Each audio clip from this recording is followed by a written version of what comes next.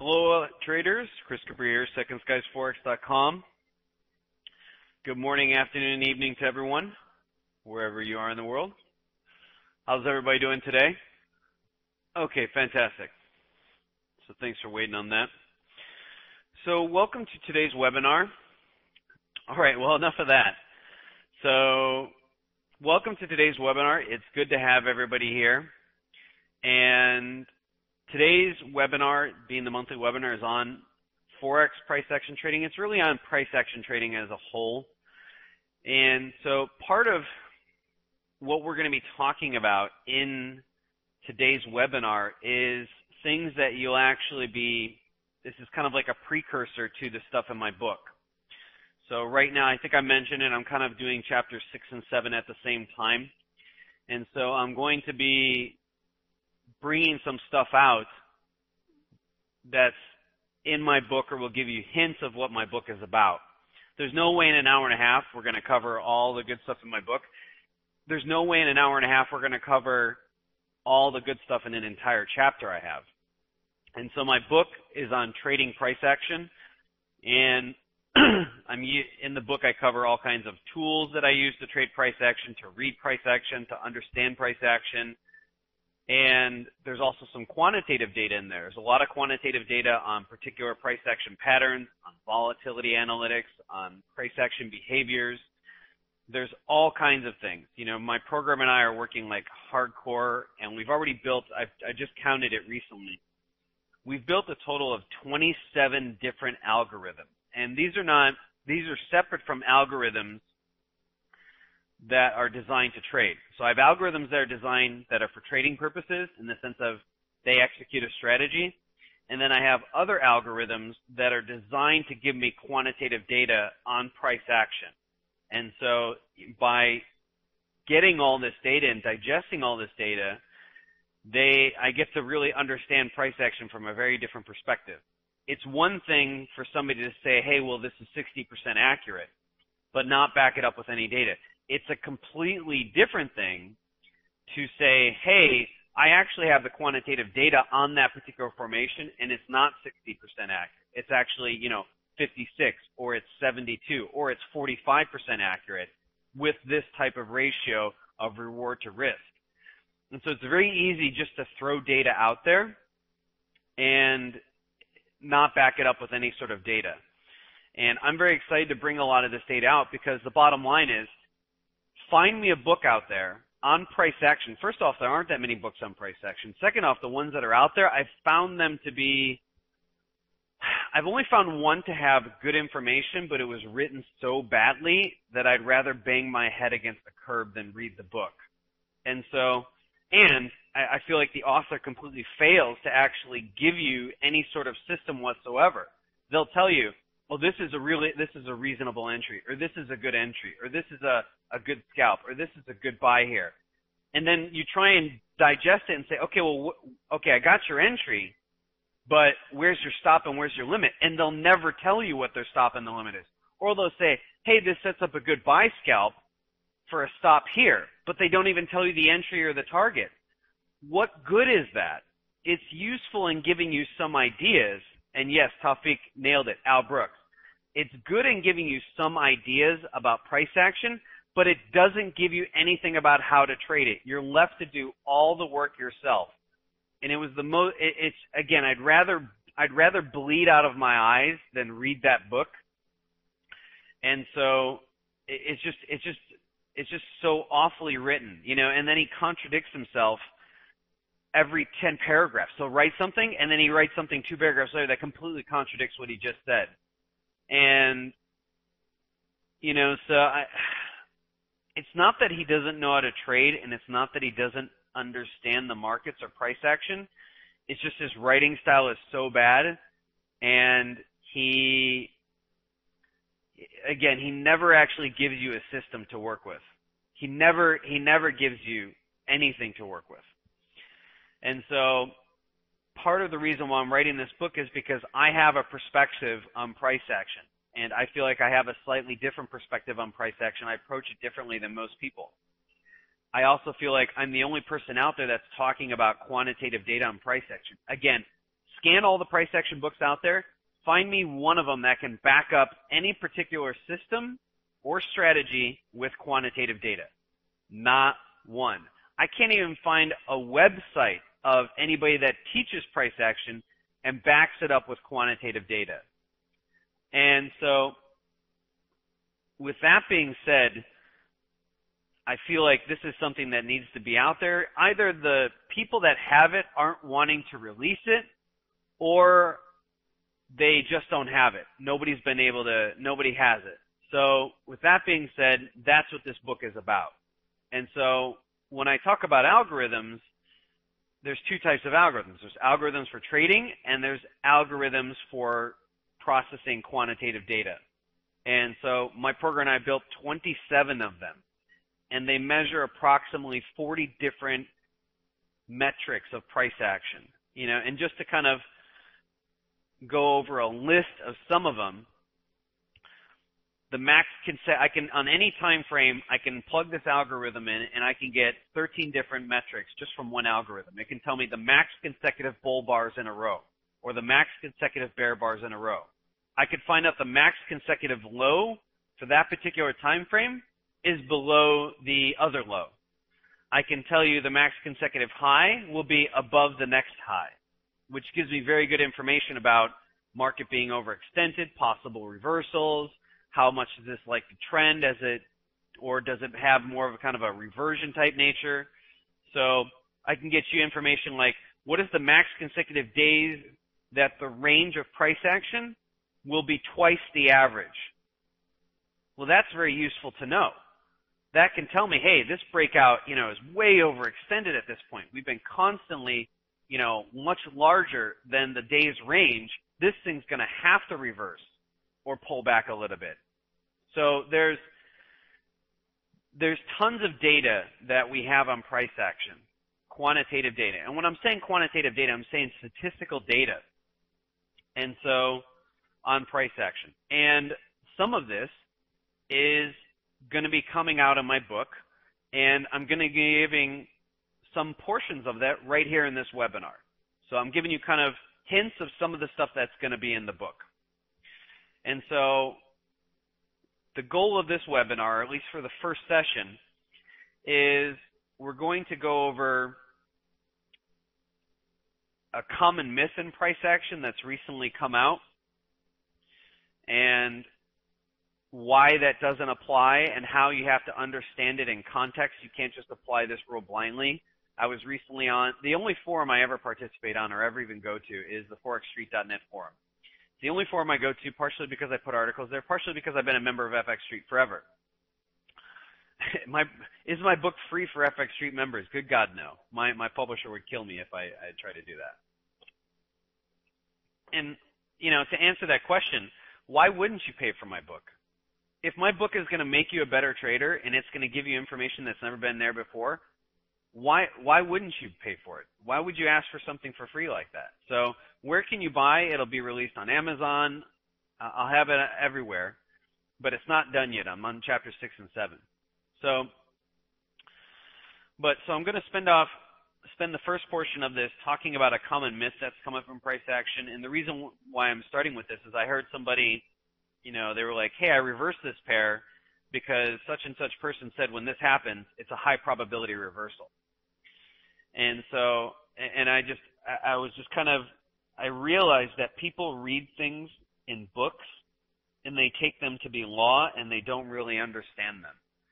And so, you know, I, I'm going to spend some time kind of dispelling this myth and then I'm going to break it down from a price action perspective when this would look like a really good setup and when this would not. So we're going to talk about the difference between accumulation and exhaustion. We're going to talk about overextension, sell climaxes, and when you can expect this to uh, continue on in that particular trend.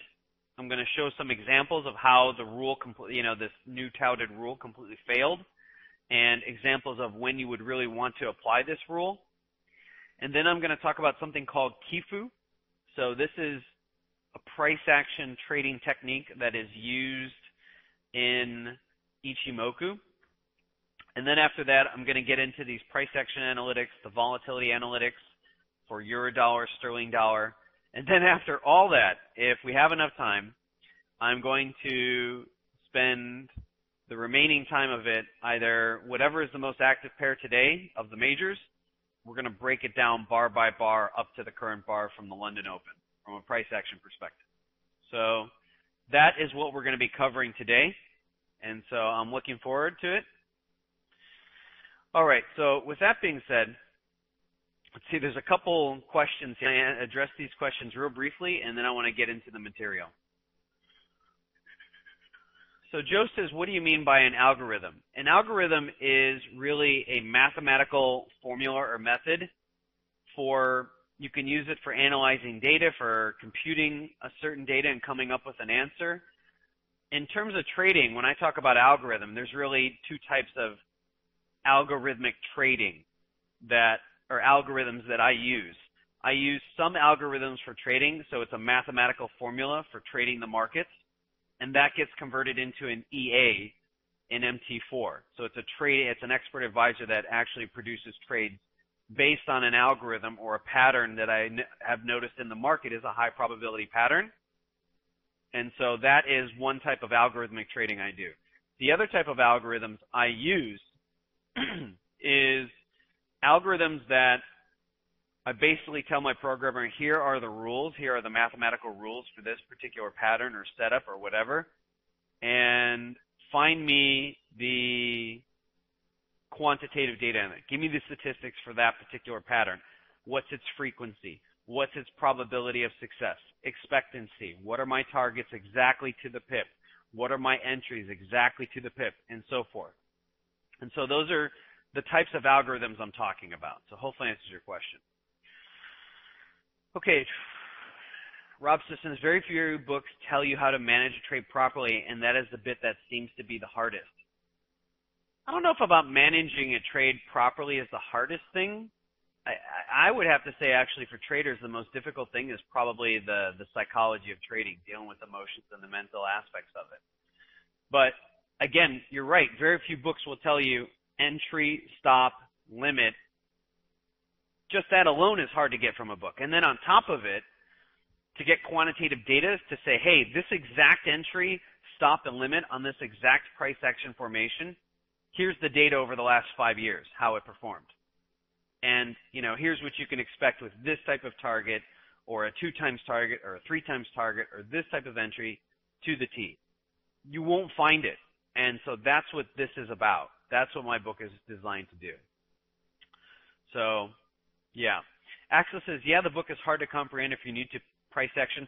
I'm not new to price action, and it's not a question, of, and, it, and I consider myself to be a reasonably intelligent guy. I was a Golden Key National Honor student. I had dual degrees in neuroscience and philosophy. I was a research assistant. You know, I consider myself to be a reason. I self-taught myself how to trade currencies. I consider it with no degree, not even one single business class or economics or finance class. I consider myself to be an intelligent guy and I consider myself to be someone who understands price action.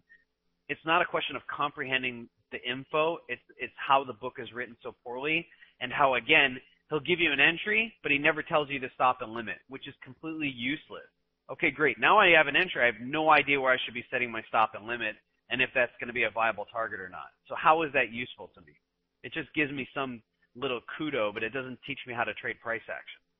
So that's my problem with the book. And it's just incredibly inconsistent and incredibly overcomplicated.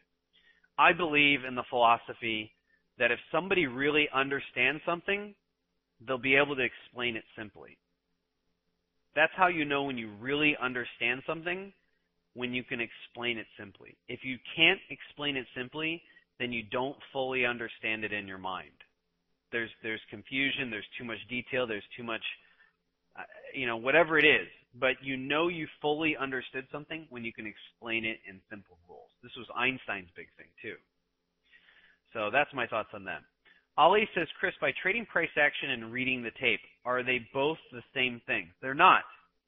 They're not. Reading the tape is reading the order flow or in the Forex market, it would be level two quotes and reading the buy and sell orders and the volume of buy and sell orders at particular prices. So that would be reading the tape.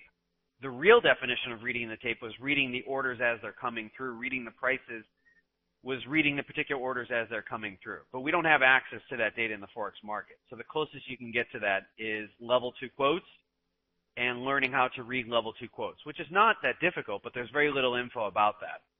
Maybe someday I'll write a book about that. So, I mean, I have I have level two quotes, and if I'm making an intraday trade, I'm very concerned about whether the buy and sell volume is in alignment with my trade at that particular time. Maybe if I'm trading a breakout, maybe I'm trading before the breakout. Well, a lot of the volume data in level two quotes are very informative to me, whether that's going to be a high probability breakout or the orders just aren't there to support that. So they're very different. Trading price action doesn't have to be an equal read in the tape. You don't have to read the tape to trade price action. Trading price action, price action is simply prices movement over time on any time frame. So it could be a one tick move on a one tick chart. It could be a one pip move on a daily chart. It doesn't matter, but price action is how prices unfolded over time in the past and how it's doing it in real time. And your ability to read that by understanding the order flow behind it, to me, that's reading and trading price action. Some people say trading price action. Oh, well, I got this pattern, this pattern, this pattern, this pattern. I trade that. So I'm a price action trader. I don't use any indicators and I trade those price action patterns. To me, that's that's like half the game. That's that's that is not that's trading without understanding why the market is doing what it's doing. Patterns can happen, very good patterns can happen, and completely fail. And if you don't learn to read the price action behind it, that could be the difference between hey, this thing's going to fail or it's going to be a high probability setup. A pattern by itself, trading patterns by themselves is passive trading understanding the order flow behind that leading up to that move and understanding what kind of order flow would have created that price action, that's learning to read price action and trading in an empowered fashion. Very, very different. Okay. Um, Mm, okay. So I think I've answered the what is quantitative data. Jay says, are you going to sell them eventually? Well, some of the information will be in my book. Some of it will be in this class. Some of it I will dispense in future articles for free. Some of it I will dispense in future webinars and some of it will go into my course. So it will, it will go in many different directions. So the answer is yes and no. Um, okay, let's see if there's any more legitimate questions to this. A, Al says, do you have any plans to sell particular indicators that you're producing? No. And the reason, the reason why is if I start selling indicators, I become a technology provider. And I don't want to be a technology provider. You know, if I start providing indicators, let's say I sell 10,000 of them. Well, if one day the the algorithms or whatever the indicators fail, then I'm now spending most of my time managing the technology and doing tech support. And that's not my vision. That's not what I want to do. You know, I want to trade and I want to teach people how to trade.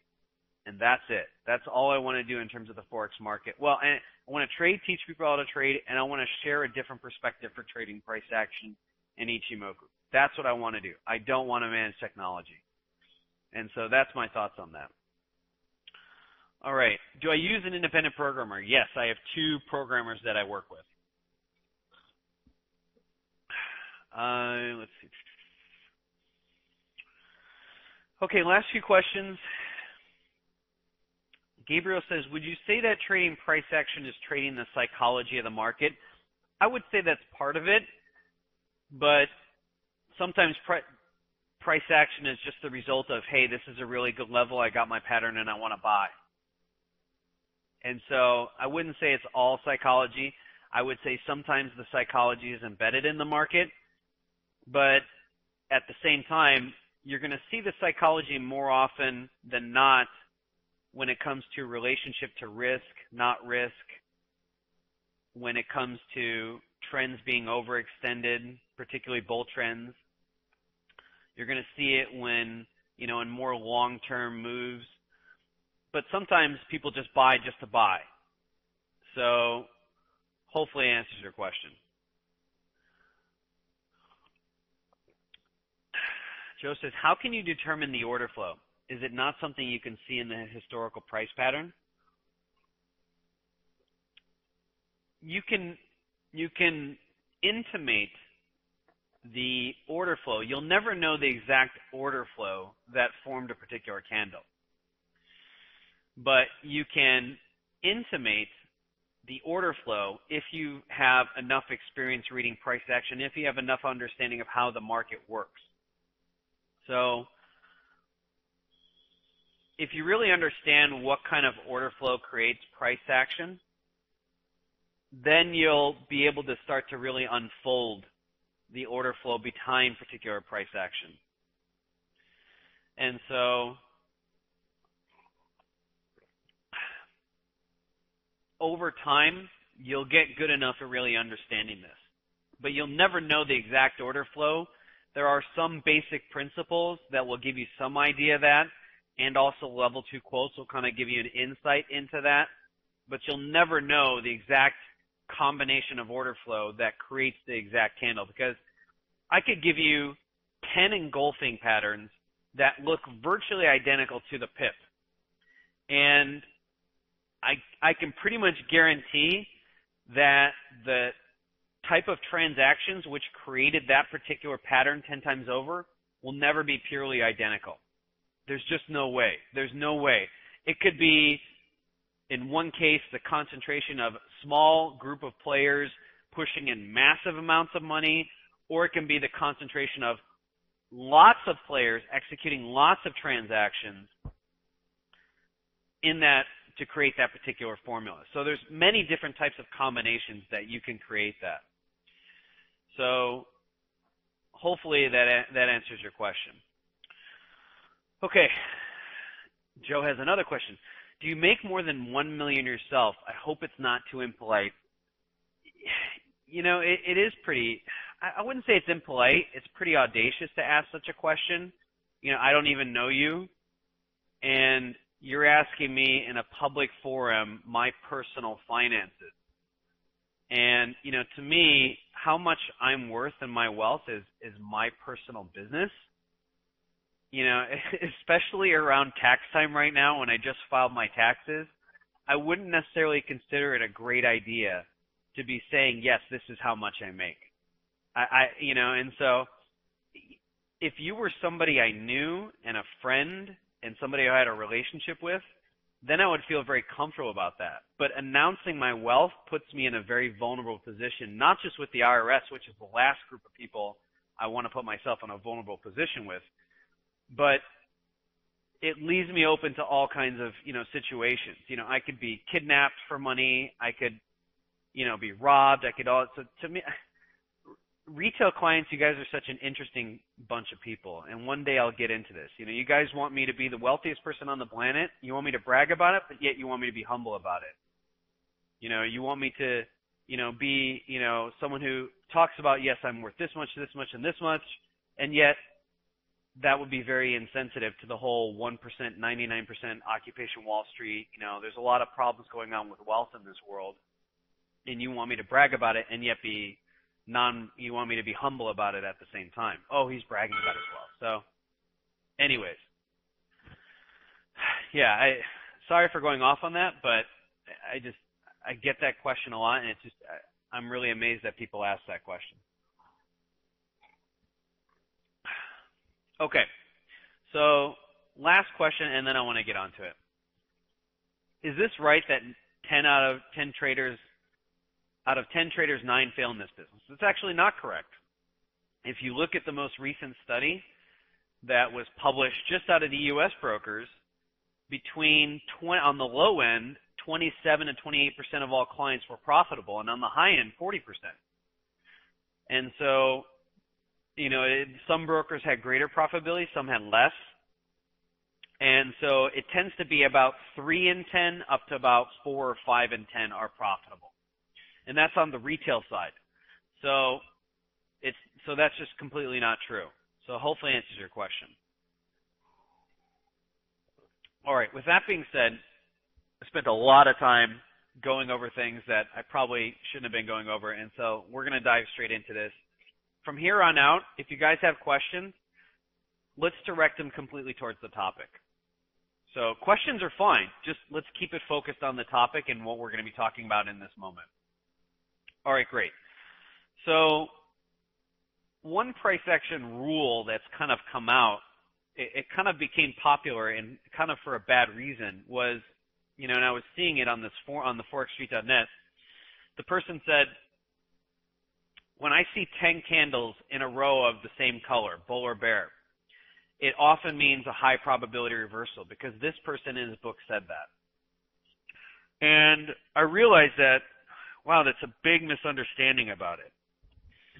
It is true that it's not often that you'll see 10 candles in a row, bull or bear. And it's not uncommon. In fact, on the one hour time frame, for example, on the sterling dollar, the max consecutive bull candles historically that you'll ever see in a row has been eight over the last five years. The max consecutive bear candles in a row on a one hour time frame is 10. And so that's on the one hour time frame. It varies depending upon what time frame you're working with. One minute, five minute, daily, hour. But the range for most of the majors tends to be between six and 15. So if this person's thinking, wow, when I see 10 candles in a row, it's all bull, this means a high probability reversal, they could be getting crushed. It could be one of those situations where it's 15 for that particular pair. So they're going to re- look for a reversal, they're going to reverse it, and then they're going to get crushed. I understand the logic of the thinking. If there's a lot of candles in a row, the market's going to probably have to unwind some of that. And I understand that thinking, but it quantitatively just doesn't play itself out. And I want to give a great example of, you know, here's an example right in front of you. Euro Australian dollar. It finds a bottom here, and we have one, two, three, four, five, six, seven, eight, nine, ten candles in a row to the T. Does the market reverse? No, it actually creates a bull continuation pattern and then climbs higher. So here they're shorting it, looking to get a nice two to one move out of it, and they get stopped out because they're just following some rule blindly that, oh, well, when it's 10 candles in a row, it's a high probability reversal. I could show you a dozen examples in the next five minutes that will completely blow this out of the water. You don't want to follow a rule blindly just because it's in a book. This is why we learn to read and trade price action as it is. Because the bottom line is when you learn to read it, you're not going to be just following some blind rule. You're going to hey, in real time, the market's communicating something to me completely different. And we're going to start to unfold this as to the difference between exhaustion, continuation, accumulation on particular trends. And this can be useful to us whether we want to get into the trend, whether we want to reverse the trend, or we want to step aside. So that is what we're going to be getting into for this first uh, small section here. now, when would the 10, you know, when would that rule be something very useful? Okay, I've seen 10 candles, 11 candles, 12 candles. From a price action perspective, a trend is going to continue until you see A, a major counter trend reversal signal, or B, something accompanying that called exhaustion or a climax. What does exhaustion look like on a particular move? I'm going to show you an example on Euro Aussie. I'm going to show you an example on the Dow, its most recent pullback. I'm going to show you an example on gold. And so I'm going to show you what exhaustion looks like. Exhaustion is where in the last portion of the move, and most ideally in the last candle of a particular uptrend or downtrend, that the candle is incredibly large. An ideal situation would be you have 10 candles in the row and it starts off small and then the candles get bigger and then the last candle or the last two or three candles gets big, bigger and biggest. Why is that from an order flow perspective? It's a combination of things. One, the people who generally start trends are generally not retail traders.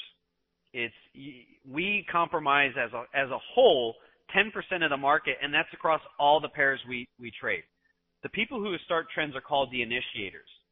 And generally when they start it, it's either a massive explosion right off the beginning or it's what is called accumulation. And I'm going to break all these different scenarios down. But they're the first people to get into a trade. They take the most risk because, you know, they're starting a new move. There, is, there isn't a lot of people jumping in at the same time saying, hey, we've seen that there's a trend in place, so we're going to go long too.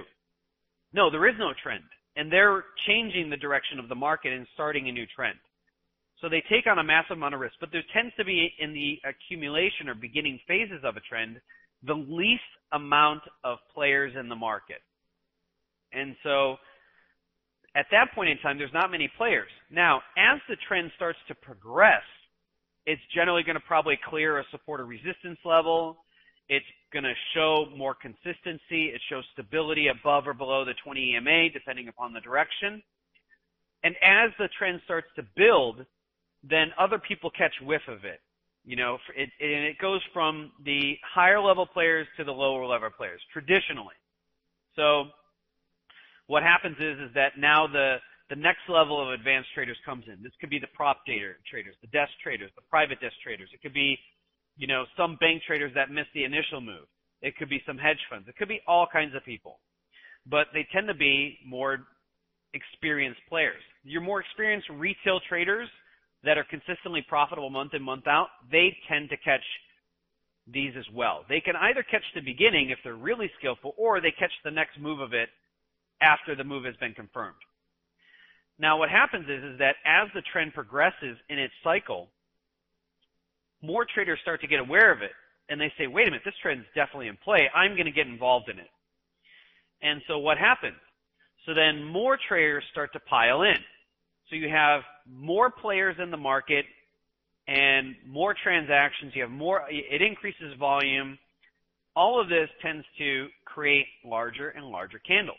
If you think about it, if you have three, five, or eight candles in a row, and the candles go from smallest to biggest, how does that happen?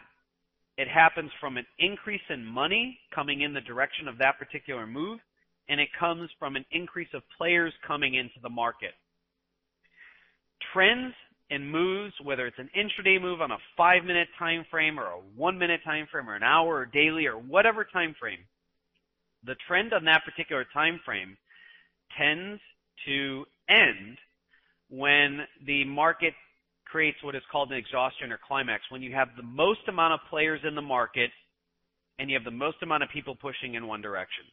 That's when moves tend to end, particularly these types of trends. And what that will generally create is, and I'll give you another example. Let me see if you see the, sorry about that, I did that.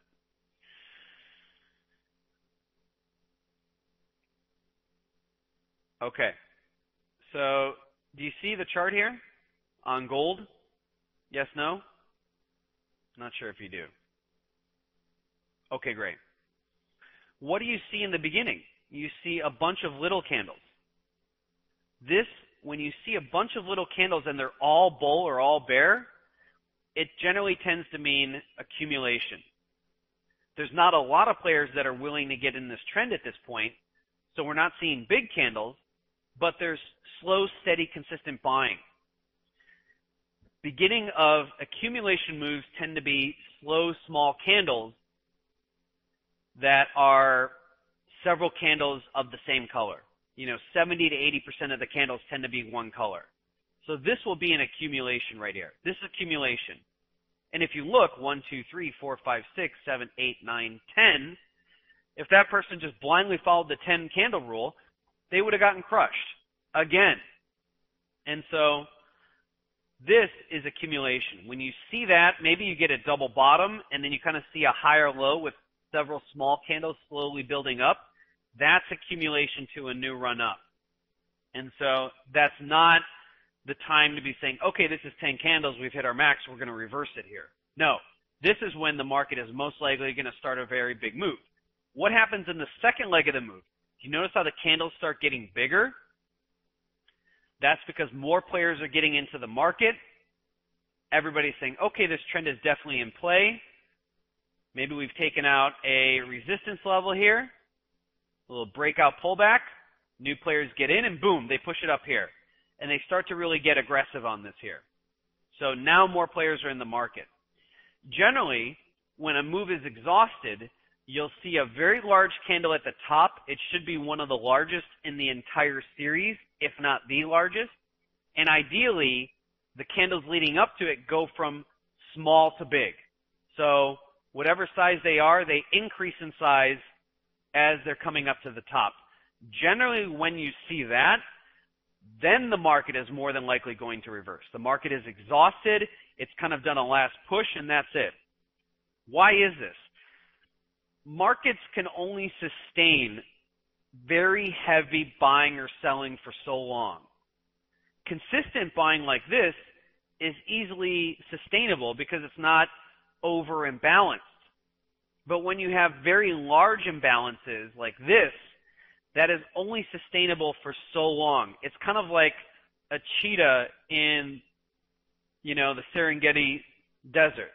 It's the fastest land animal, but only for a short period of time. It's good at sprinting, but it doesn't have endurance. And so it exhausts an immense amount of energy, but it can only sustain that for so long. Trends work exactly the same. If it doesn't burn too hot, then it can sustain it for a longer period of time. But once it starts to really overheat, that's when you have a high probability of a reversal. Case in point, this is part of how I was able to spot, and look what happens here. You can see candle large, large, large, very large at the end. Gold has never seen these highs since then. Case in point, take a look at the Dow. Everybody was saying, how did you recognize the top in the Dow? take a look at the difference in the move. Do you see how it's just kind of steady, consistent buying? Which to me was interesting because it was happening on low volume. But the candles aren't overextending themselves. They're not burning too hot. What do you see in the last leg here? Small leading up to large, and go figure, the largest candle at the end of the move was at the top. This generally tends to mean exhaustion. And so at that point, I'm then looking for a reversal trigger, maybe a lower high or a failed to make a new high, and then I'm looking to reverse it at that point. In this situation, if you start to see five, six, seven, eight, nine, ten candles in a row, then that would be the time period that you start looking for reversal. Not when you see this little consistent steady candles like that. That would not be the time to do that. So does that make sense in terms of the 10 candle rule, when we want to apply it, when we don't want to apply it?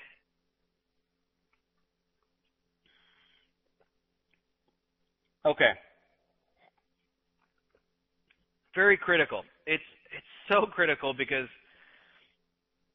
yeah, it's I I was just amazed that this person just said, "Okay, I saw 10 candles, so I'm looking at and the person in the book said it's a high probability reversal, so I'm going to short it. Well, there are going to be times where that's totally true and times when it's not even close to true. And so it's important that we learn how to read the price action that would create such a thing. Now, couple questions regarding this, and let's get into it. So Philip J says, do outsiders start trends? If you're talking about retail traders, retail traders are never going to start a trend. Even you got to remember, we're 10% of the market, and that's across all the pairs we trade. If we all concentrated on the euro dollar in one moment and we all hit the button at the same time, maybe we could at that point. But generally not. We don't start trends. Institution, we don't move the market. Institutions move the market. The high level players move the market. So if you're saying outsiders when you're talking about retailers, no. So and it depends. Some institutional traders are short term, some are medium term, some are long term. You know, FX Concepts, the largest currency fund on the planet, over 25 billion, they tend to be more long term. They do have some intraday strategies, but they tend to hold long port trades for long periods of time, which either means they're going to do great on the year or they're going to get crushed. Okay, so hopefully answers your question. Yana says, can we recognize major self like we have Intermillion gold and silver? They should be looking for a weakness in the bullish to then turn it bearish. Maybe you could elaborate on this in the last session. I'm not sure I totally understand your question, Giannis, but in regards to this, I'm generally look, you know, and it was pretty easy for me to spot the reversal in Dow. It was pretty easy for me to spot the, you know, reversal in a lot of different instruments because it's usually accompanying, the first thing it'll be accompanied by is exhaustion. More often than not, it's exhaustion. The second thing it tends to be accompanied by is a reversal pattern accompanied or with that particular exhaustion. More often than not, an exhaustion will tend to be followed by a very strong reversal pattern. It's almost it's almost inevitable because what happens is you're going to have this massive influx of transactions and then the institutional players that are realize this is the end, they're going to exit out of the market and that's going to create a huge vacuum in the market in the sense of, oh shit, a lot of big players just sold off, so the market's going to tank very rapidly. That's going to trigger some stops for the people that just got long on the trend, or maybe were short term just got in it. They're going to get triggered stops. So then all those orders are going to trigger now the market further reason to sell off. People are going to recognize it. There's going to be emotion behind it. Further thing, the market's going to sell off even further and that's going to tend to create a reversal trigger. It could be a pin bar. It could be a engulfing bar. It could be a piercing pattern. It could be, it tends not to be an evening star or morning star because those take three candles. It tends to be a two bar or one bar reversal. It could be a Janus reversal bar. What is a Janus reversal bar? You'll have to wait to my book. I've invented a new reversal formation. So it could be any one of those. And so, but it tends to be a two bar or one bar, not a three bar. So exhaustion very rarely, exhaustion reversals very rarely are three bar patterns. They just take too long. It's usually the exhaustion bar and another bar, or the exhaustion bar itself is a one bar reversal pattern. So hopefully that answers your question.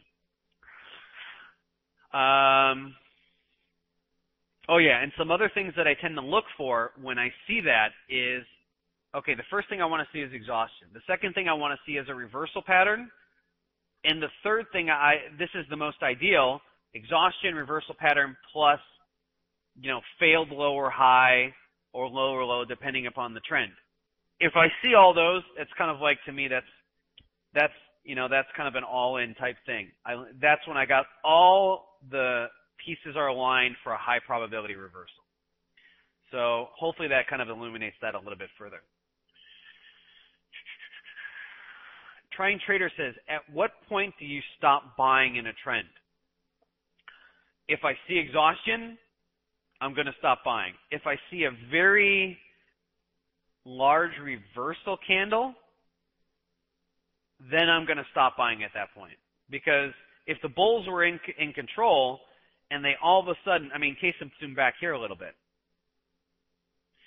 Bulls are clearly in control, very strong buying, immense buying here. We start to get some rejections here, and then we get this little bar right here. Well, wait a minute. The bulls have been in control four, five, six, seven out of the last nine days in a row. If they and and they just made a new high on this candle right here. Then on this candle they make another high, and then we create an engulfing pattern. Wait a minute. Where were all the bulls? What happened? Why did they not continue to hold the new highs? We even had a series of lower highs. What happened to all of them? So when you see things like that, that's when it's time to stop buying. Until you see those signs, generally you want to keep buying the particular trend. Now, does that mean we want to buy on breaks? Not necessarily. Sometimes you want to buy on pullbacks. Sometimes in a trend you buy breaks, sometimes you buy pullbacks. So hopefully that answers your question there.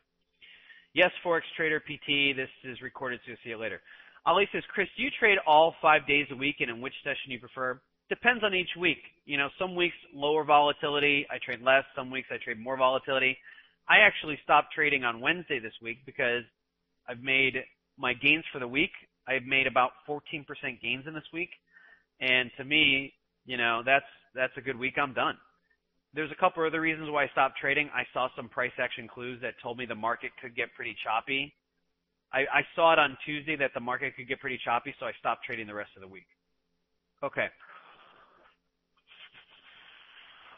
Dow seems to have small, have lots of small bodies with longer wicks, lots of spinning top. Isn't this hard to read, or is this normal for the Dow?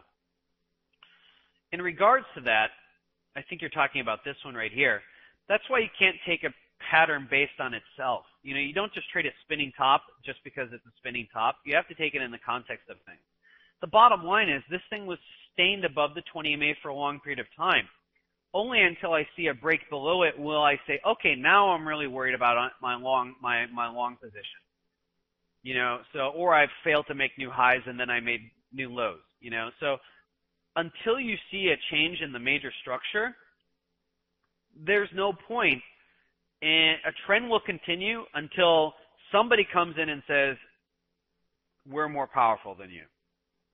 Or we're done buying this thing up. A trend will continue as long as it wants to. Currency markets have a, have a, have a knack for overextending, for going much farther than they should.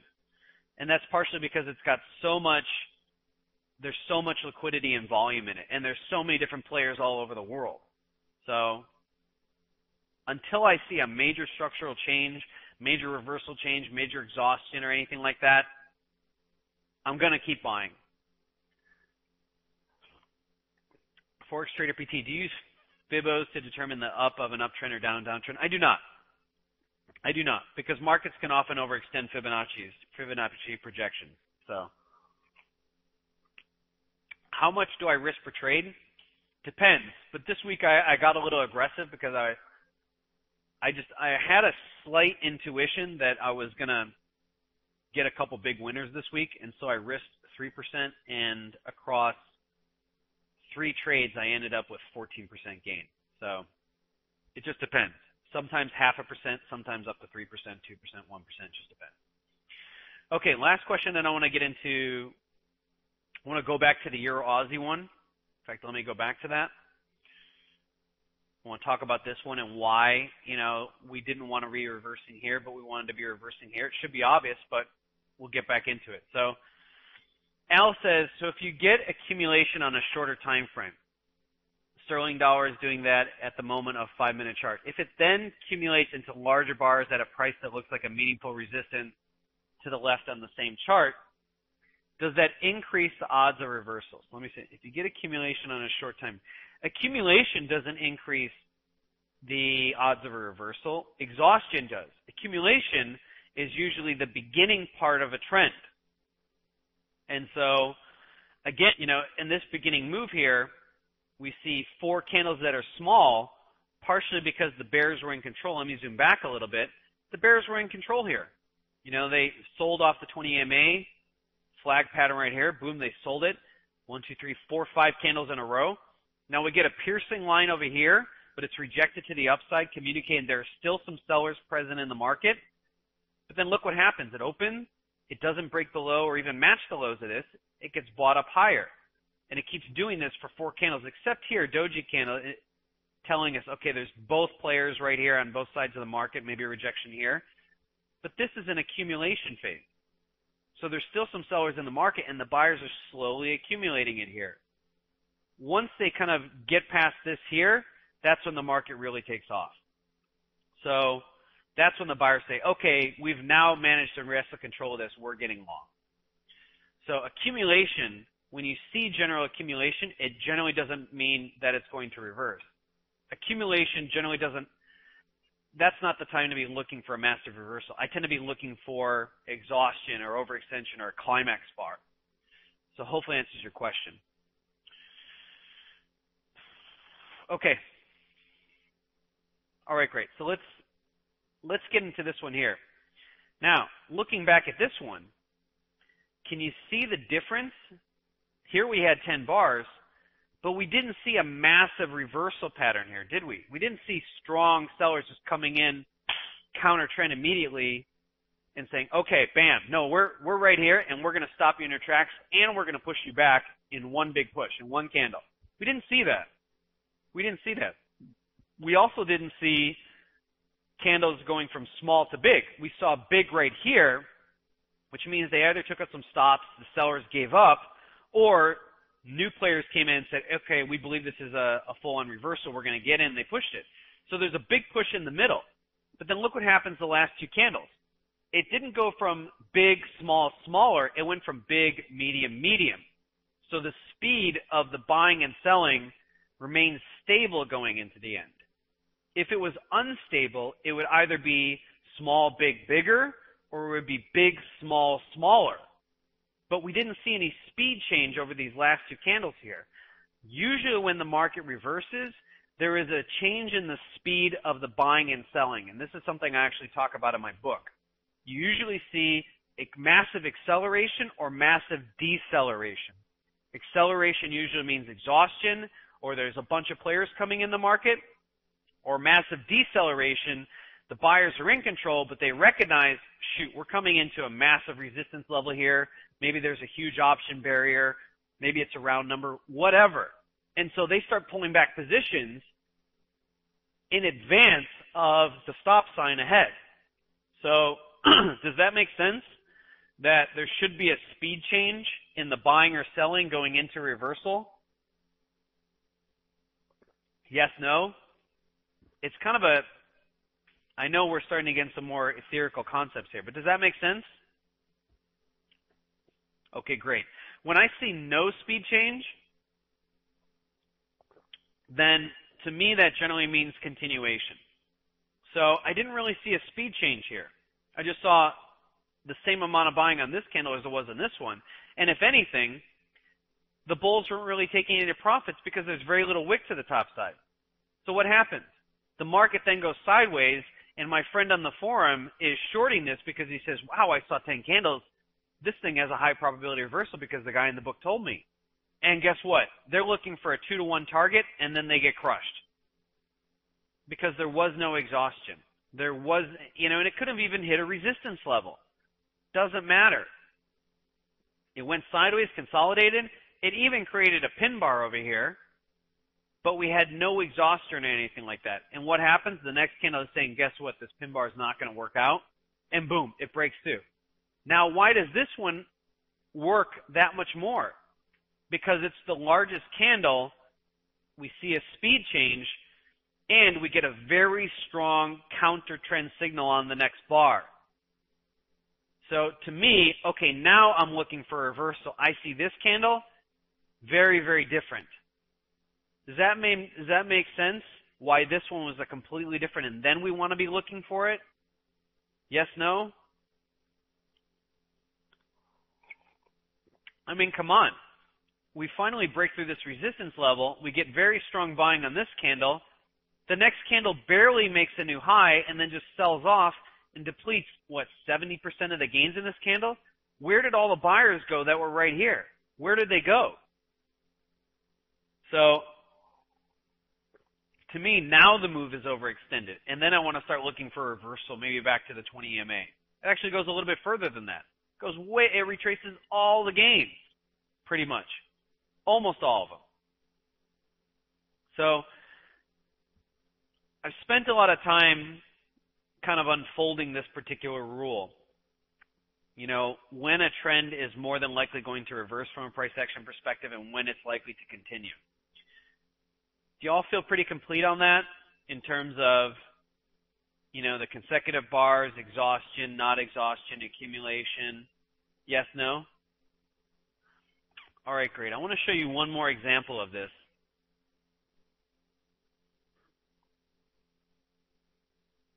Let me delete the other chart here. So here we're looking at sterling dollar, and this is a really good example of exhaustion and accumulation. Okay. So we have a range going into this gray line here is the London Open. Go figure we have a range on sterling dollar. It's not that active during Tokyo. Then right before London Open, Europeans come in. They start selling it pretty aggressively, decently they start selling it, but we keep finding buyers here. We find some buyers here. We find some buyers here with a rejection. We finally kind of get a line in the sand, and then we start to see, let's zoom in a little bit. Oh, go figure, accumulation buying. Again, same thing, accumulation buying.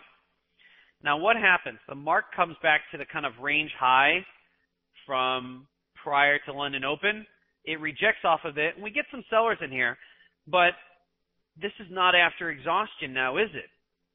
This is after steady accumulative buying. We had a piercing line reversal pattern. It produces low, higher lows. And then it goes on one, two, three, four, five, six, seven. Seven candles in a row. But nothing was really exhaustive here. Did we see any candles that were exorbitantly large? Not at all. So then what happens is, okay, we get some sellers in here, and then the buyers say, great, you've just given us an opportunity to buy this lower. They buy it, and we zoom in.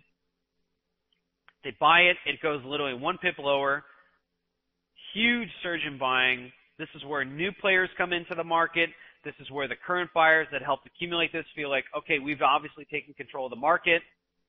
So the new players and the current players, the initiators, they come in, they take out the stops, and now they're really in control. Now the market's probably going to go for a big move. And so in the same amount of candles, actually one candle less, it covers almost twice the distance. It goes from 20, 59.20 to 59.90, 70 pips. And here over seven candles, it only goes 30 pips. So once you see this big candle, it's kind of like, okay, now we're off to the races. And look what happened. Boom. Now, take a look at how this move is different. Do you see how now we're getting into exhaustion here? This is the kind of sprint that cannot be maintained forever. It's just, it's so strong, it's so hot that it's going to eventually overheat. So there's no way this can be maintained. Look at what happens on this last candle. It's the second largest candle in this entire move. It opens. Buyers are there from the open. They push it right into the close. They take very few profits at the end there, so they're still present in the market, but it's definitely exhaustive to some degree. It's, it's much more intense. And wait a minute. What happened to all these buyers that have been pushing this up for 70 pips? They now come in and another bar takes out about 40% of the gains shoot, maybe this thing is, okay, maybe it's overheating at this point. And what does it do? It pulls back to the 20 EMA. Eventually it continues on. But if you were long here and then you saw all this consolidation, I'm pretty sure you would exit the market at this point. One, you've just reversed 20 of your 70 pip gain, so you've just lost 33% of your paper profits. Two, it's you've now been in the market three times as long over this period as you were for these six candles. So what's the point of staying in this thing? Can everybody see the difference though? Accumulation, now the market's really in it, exhaustion.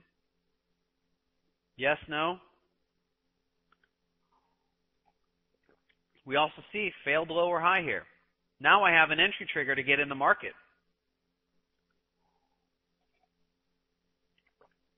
Can everybody see that? I have exhaustion. I have failed lower highs and I have a reversal trigger right here. This and this right here is my reversal trigger. Now I have a play into the market. Does everybody see that? Okay, great. Okay, I just want to answer the last few questions, and then I want to start getting into some of the quantitative data because we only have about 30 minutes left for this section here. Rob says your primary bars are one hour and four hour. When did I drop to the five minute? I didn't change or anything. I'm just kind of showing this as an example. You're right. My primary bars are one hour and four hour. When I trade intraday, three and five minutes are my favorites. But I'm doing a lot less intraday trading right now because I, I I don't have that much time, you know, with the writing of the book. I need to be concentrating on writing my books. I need to be incredibly efficient with my trading and yeah, I just don't have the time to to be doing that. So but this is just to show the example. You know, I've showed it on the daily, I've showed it on the four hour, showed it on the one hour. Okay. Boyke says, and distribution. Yeah, I would probably lean towards this as more of a redistribution at this point, but also exhaustion. Exhaustion that either, exhaustion tends to lead to very strong reversal or at least a redistribution before continuing the trend.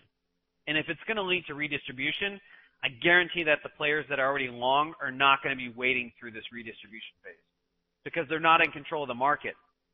They, they, if you realized you were in control and all of a sudden you've lost control, you're either going to want to get into, you're either going to see a reestablishment of control or a, yeah, you're going to want to see reestablishing control. Otherwise, you're just going to say, okay, I'm done. So hopefully I answered your question. Drydo says each candle represents the new positions in the time of the candle. uh, I kind of, can you rephrase your question? I think I get it, but yeah, if you could restate that'd be great. Rob Smith says, I've read a lot of things saying you only get accumulation on down bars. That's, yeah, it's completely ridiculous.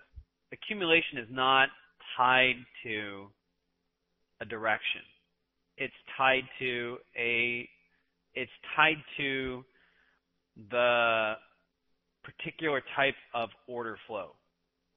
And so accumulation is an accumulation of orders in the direction of a new trend that's building basically. So it could be on the buy side, it could be on the sell side. So hopefully answers your question. Okay, let's see here.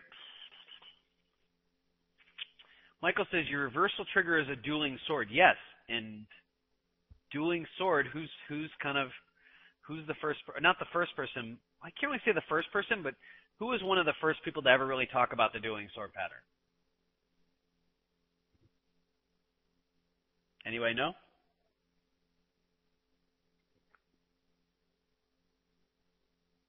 CC, Chris Capre, yeah. You'll see it on my website if you type in Dueling Sword. I'm not going to claim credit for it, but I was one of the first persons to be talking about it, but it doesn't really matter. I don't give a crap about that. Okay, so what you're saying, Michael says your reversal trigger is a dueling sword, but I guess first one is bearish and a hanging man. Makes sense, please. Okay, so here's the thing about this remember, what are the things I'm looking for when I want to see if a trend is ending from a price action perspective? I should see either a climax, one bar climax. I should see exhaustion in the sense of the bars are really large at the end, disproportionately larger than usual. And then that's the first thing. So the exhaustion climax, disproportionately large bars, that's the first thing I want to see. The second thing I'm looking for is a strong counter trend reversal signal. And generally these will come in the form, most often than not, they'll come in the form of a two bar pattern. So you have the strong climax or exhaustion bar, and then you have the counter trend reversal bar. And that about face in the movement of the price is either a combination of all the bulls in this case kind of just said, okay, this thing is way overextended, so we're exiting out in mass or they ran into a counter trend force that was incredibly strong to stop this upward movement and push it back that sharply. So these types of exhaustion climaxes tend to become most, you'll see them most often in the form of two bar reversals. Every now and then they can be represented by a one bar reversal, particularly a pin bar of sorts, but more often than not, they're going to be a two bar reversal. Now, so that's the second thing that I like to see in that particular move. The third thing, which would kind of be the coup de grace, is a lower high or a failed new high. So I tried to make a new high and price just couldn't do it. You know, tried to and it completely failed. So pin bar pattern, but the pin bar is less effective as a pin bar because a pin bar is most effective when the tail sticks out because that creates the trap. So this is more of just a rejection type bar. Dueling swords, my preference is that the dueling sword is the A bar is the, the prior high and the B bar makes the new high. So, you know, what happens here, we do get some selling. There are still some buyers that are either in denial or they're still willing to try and take a second stab at it. But when the market fails at the same level, that tells you at this point the sellers have legitimized themselves as saying, hey, here is our line in the sand, and they push it back. So this failed new high, that's kind of like the final coup de grace. I should be shorting at that point. So you can either be shorting here in anticipation of it, or you can wait for a pullback into that with a very tight stop above, and then you start looking for a pullback to the 20 EMA minimum 2 to 1 target. But those are the three things that you want in place. So does that make sense, Michael, there? Yes, no?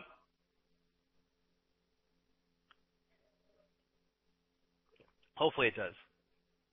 All right, great. So let's see, last few questions here, and then I want to get into some of the quantitative data. Okay.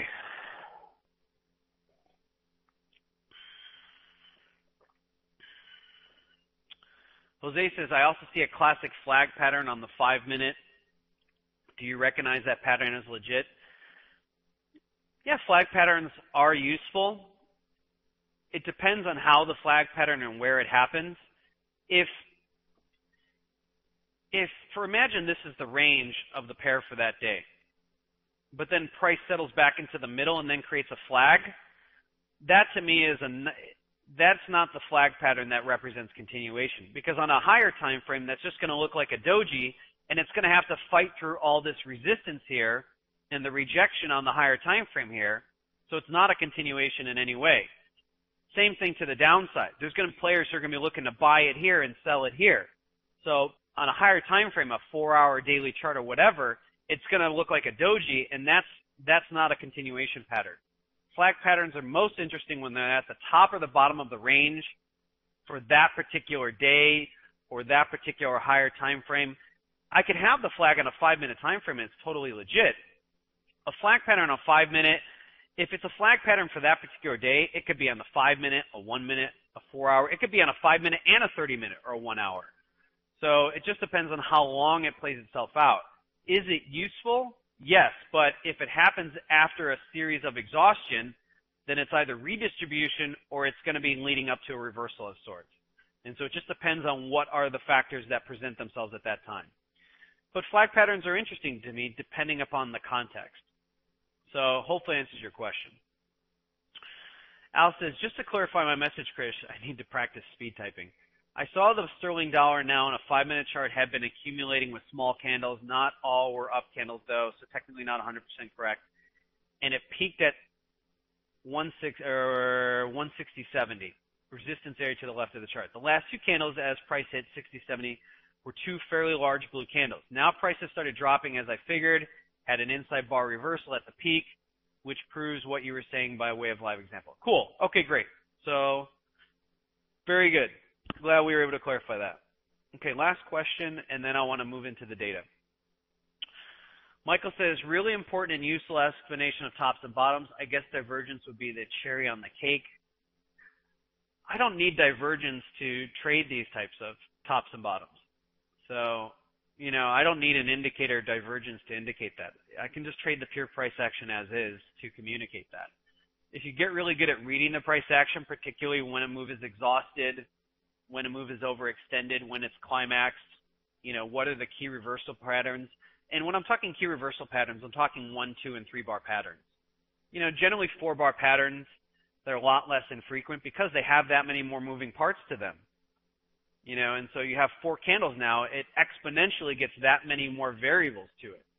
So generally good reversal patterns are usually one, two, and three bar patterns. Those are your, going to be your most common reversal patterns. So if you can spot all that, usually that's all you really need. Ganser says, when a pin bar trap is being formed on the four hour chart, how long normally does price stay in the support or resistance zone before it starts failing? Depends on the type of pin bar trap we're talking now. So there are many different variations of that. Your question is on the four hour chart. It could be, it could be one of two things. The pin bar trap could be the final signal that's saying, okay, now we're going to reverse. Like, for example, let's say we have and I don't have a recent example of this. But let's just say, oh, let me see if I can even find one on a four hour. Yeah, I can't find right now because I don't have one in recent memory. But let's just say we have a consolidation here, and this is a four hour chart. And then this bar is like a pin bar trap of sorts right over here. Let's just, you know, use your imagination for a second. The pin bar trap depending upon how you know strong the wick is, is it a bull or bear body? You know, depending upon who's control of that, it could be okay. Now, hey, this is this is the failure of the market to continue. So the market is saying, hey, this is a failed breakout, and it could revert back to the lower end of this range. Or if the price action gets really impulsive after that pin bar, it could be saying, hey, we could be starting a completely new trend here. It also could be a with trend pin bar trap. So maybe we have an uptrend in play, we have a flag pattern, and then the market creates a little pin bar trap at the bottom there. That could be saying, hey, this is now the start of a new uptrend. We're going to now break out of this and we're going to start to make new highs. So it just depends upon the nature of it. There's there's so many moving parts to that. There's no way I can give you one particular answer as to how long price will stay in that SR zone. It's too many moving parts, and it also depends on the type of pin bar trap we're talking about here. Trying Cherry says, as price moves away from the EMA, is that a signal that price could come back? You know what? That's a great SIGU, but shoot, I don't know if I kept that data in here. Darn, I don't think I kept the data. Yes, it can be, depending upon how far price gets away from the 20 EMA. We've done quantitative analysis on, I mean, I have an algorithm which basically I can plug it into any pair, any time frame, and it can tell me over the last 10 years, well, from one hour and above over the last 10 years, anything under one hour can go about three, five years back. But it can say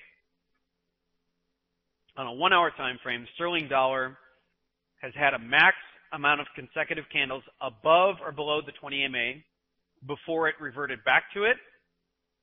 And it can even tell me the max amount of pips distance from that particular price to the 20 EMA before it reverted back. And it's different for each pair. You know, Aussie and Kiwi tend not to get too far away from the 20 EMA because there's not massive volatility involved in them. They tend to be just steady, consistent moves. Sterling dollar can get quite impulsive. Sterling yen can get quite impulsive. They can get much greater distances from the 20 EMA before they're going to snap back. So yes, that can be a signal if you do get into those more stratospheric levels.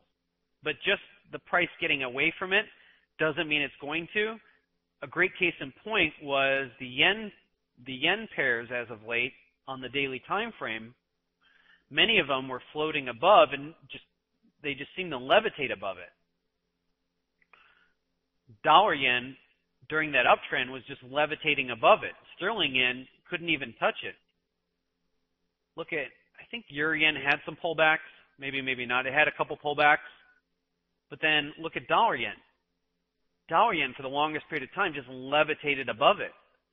So being away from it doesn't necessarily necessitate that it's going to pull back. Usually when it will pull back is when you see that exhaustion or climax. So hopefully answers your question.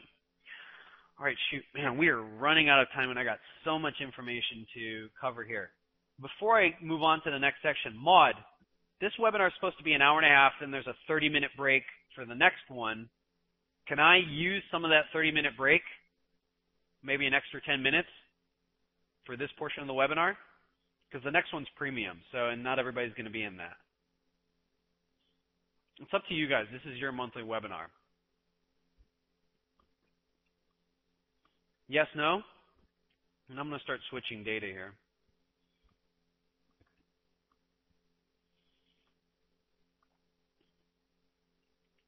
I haven't heard from her yet. They might have left the building.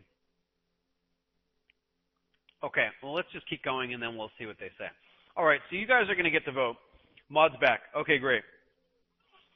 So, Maud, in regards to my question, we, yes, we have the second part. The first part's supposed to end in about eight minutes, and there's a 30 minute break. Is there any chance I can use some of that break to continue this one? Like, say, 10 minutes? my bladder's not going to be happy about it. I I swear to God, I have to go to the loo. But okay, great. Let's go through it. Well, since I only have about 10, yeah, I have about 18 to 20 minutes. You guys get to choose what is the next thing we dive into. I have two sets of quantitative data here. I have some quantitative data on volatility, intraday volatility for euro and sterling and I have some quantitative data on particular price action behaviors, and I'll tell you the list of behaviors, such as the max consecutive bull or bear for euro dollar and pound dollar on a one hour time frame, max consecutive low below the prior low, max consecutive high above the prior high, max consecutive days, the range is half the average or twice the average. So that's the, some of the price action analytics. Or I have intraday volatility data. So it's your choice, whichever one gets the first gets the five votes the fastest wins. Okay, so one, one, two, two, three, four. Somebody, okay. It's hard to say. I think it was a neck and neck tie between price action and volatility. All right, we'll just race through it as much as we can. I think price action one. Let me know if you can see the Excel sheet here. The good thing is this is recorded, so you can always go back to this and use this as a reference. You know, and again, it's one thing to say, you know, to write in a book and say, hey, when you see 10 candles in a row, it sets up a high probability reversal for a 2 to 1 target. It's another thing to actually have the statistical data on that. And I've seen both. So this is euro dollar, sterling dollar on one hour time frame. It's going to be different.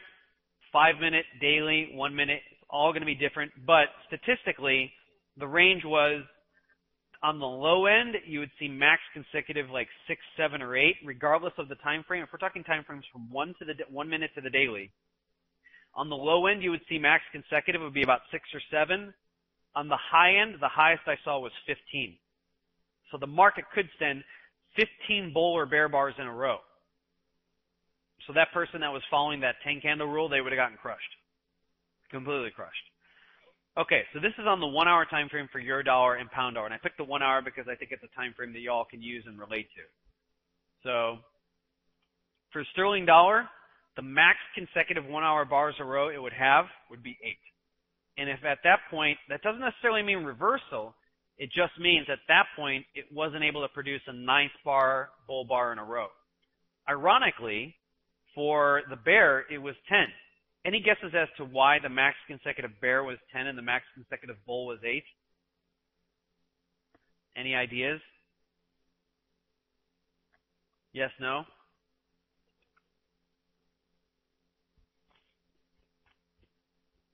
Floyd is falling. That's kind of rhetorical. Bottoms take longer to form. Good, you're onto something there. Price, price drops faster. Okay, kind of getting there. Across all instruments, all time frames, sell-offs tend to be far more violent than buy-ups. They tend to fire much more sharply and faster than bull trends. And so if something is falling really rapidly, a lot of people are going to say, hey, shoot, this is a falling knife. I'm not going to get in front of it. They're going to just say, hey, let's let this thing go and exhaust itself out. Let's see some sort of bottoming before we consider getting into it. So it was kind of interesting that across almost all pairs, the max consecutive bear for the most part tended to be much more, a much larger figure than the max consecutive bulls. That to me was interesting as a whole. So max consecutive low, and we'll also see this kind of extended here in the next statistic, the max consecutive low is below the prior low. Well, that's very useful to me if I'm shorting it and I'm in a trend to know, hey, you know what? I've had six consecutive lows here where the low is below the prior low. You know, so I'm short and my market key, my position keeps gaining as the trend continues on. That's very useful information to me to know, hey, you know, we're not even close to extended, you know, being fully extended. This thing can go much longer. Same thing with max consecutive high is above the prior high. That means that if you're in a bull trend that from candle to candle, if you wait to the end of the candle to get back into it, there's a good chance that as long as you let that thing ride, you know, and we're in one of these moves, this thing can continually produce higher highs, meaning you can continue to lock in more profit. Now, this is something that's interesting, and you're going to find this across all pairs. Max consecutive days range is half the average. So in other words, the, the range of, for that price action from top to bottom was half the, the statistical average for that pair. Well, wait a minute. 134 candles on a, not a, not an hourly chart, but on a daily chart. Max consecutive days, the range is half. That means that the market would be much more in a contractive phase to produce. If the average is 100 pips per day, the range was about 50 pips or whatever it was.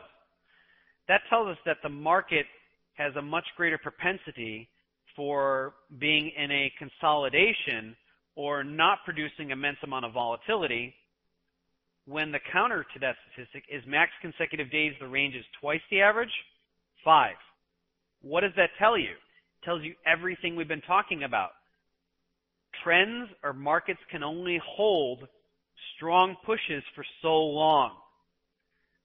They can only hold it for so long.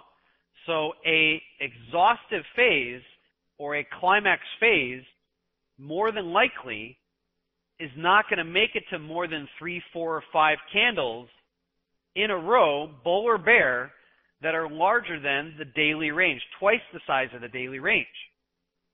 They're going to have to contract. It can only sustain that for so long, but the market can sustain for a long period of time contracted smaller candles.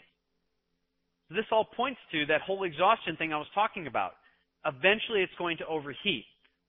Does that make sense? Yes, no? Jose says, what? okay. If you remember what I was talking about with exhaustion type moves, exhaustion moves tend to be very large candles that are much bigger than norm, and the markets can only sustain them for so long. Eventually it's going to overheat. You can't sustain that kind of imbalance, buying or selling in the market without there being a redistribution or reversal. And what is interesting is that across the board, sterling dollar could only, on a max, have five days in a row where the price action was twice the average, the days range was twice the average than it normally is. Two times. Only five days in a row. But yet, on the other side of it, it could very easily, for long periods of time, have daily ranges that are half the average. So it tells us it's easier to have much smaller candles and not produce massive price action than it is to produce very large bars. So what does that mean? It means that it, it kind of complements that whole exhaustion thing I was saying when you start to see the market is incredibly large candles, much larger than the usual, twice the average of the whatever the volatility range is for that level, it can only sustain it for so long before the market should be reversing or reconsolidating. Does that make sense? Yes, no? Okay, got it. Okay, so that is some of the price action data there, and that's some of the points I wanted to highlight about that. I want to get into the volatility data. Here's the thing. If I don't go to the loo right now, my body is going to, to maim me. My bladder is going to maim me. So here's what I'm thinking of doing. I'm going to put the volatility data up Tell me you can see the numbers, the different hours, two different graphs. Can you guys see that? Here's my plan. Let's get uh, into the volatility data here real briefly. I wish I could have more time to explain this. I'll explain it a lot more in my book. And I'll get into it in my book and you'll see much deeper explanation of it in my book. But for now, let me go into it. So this is what we're looking at is the Euro US dollar. And we're looking at 2011. Uh-oh. Vicky's saying it must finish in three to five minutes because the premium starts in 15, 25 minutes. Okay, five minutes. I'm going to run through this. So let me explain this. 2011 chart of volatility. 2012 is very similar. It it's not enough data for me to really bring it out. But here's what we're looking at. This is uh, based on European time. So hour zero, European time, represents the actual New Zealand Open, then Sydney Open. Red is the Tokyo Open. And here's where London starts, hour 10, right? Now, take a look at the pattern. You're seeing average range in pips here. Take a look at the pattern. We all kind of understand this intuitively, but we can now see it numerically what it looks like. New Zealand and Sydney, not much range, 20 pips from top to bottom as a whole. But we start to see the price start to accelerate toward the later hours of Tokyo. That's because Europeans are coming in, they're starting to build some of it, right around here, here, and here is when the Europeans start to get on board, and that's when it starts to increase dramatically. When the Europeans do fully come in the European Open, we get a $7 jump. That's a 25% jump in volatility. By the time the London opens, we have one of our highest hours, but not our highest. Our highest is when New York and London overlap. Now this is what this looks like graphically. Okay? This is what it looks like graphically. Starts off really slow, builds, we get a little bit of consolidation, we get one more spike, and then it falls off a cliff. How is this useful to us? Well, let's take a look at this for a second. Let's say you're trading on a one hour time frame and you have a target that is 80 pips. But you have the explicit desire to be out of the trade in one hour. We can look at this and say, well, wait a minute. You want 80 pips. The average range in pips from top to bottom for a one hour candle is 45. So it's a little unrealistic now, isn't it? So if you're planning on only being in this trade an hour, you now need to adjust your target based on what you can expect average volatility to be. Now, what does this standard deviation mean in relationship to that?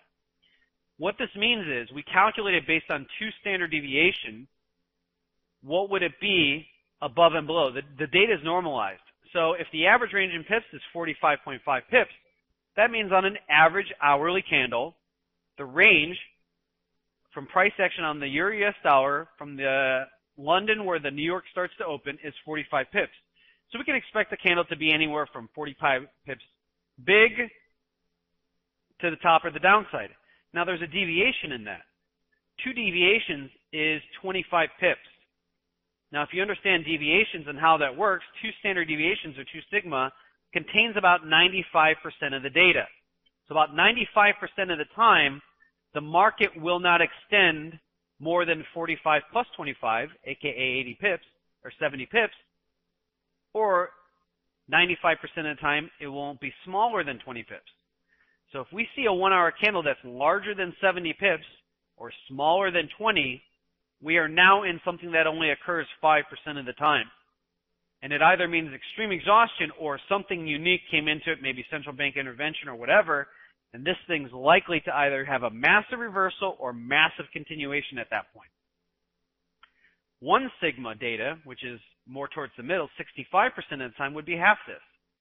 So about 65% of the time, we can expect the one hour candles to have a range of 45 plus 12, 57 pips, or 45 minus 12, 33 pips.